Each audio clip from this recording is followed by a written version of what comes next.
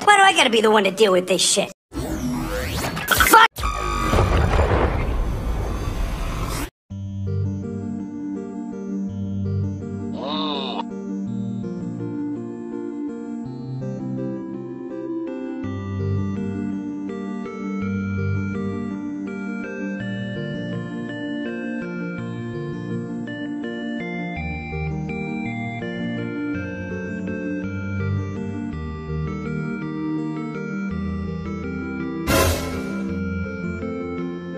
That motherfucker!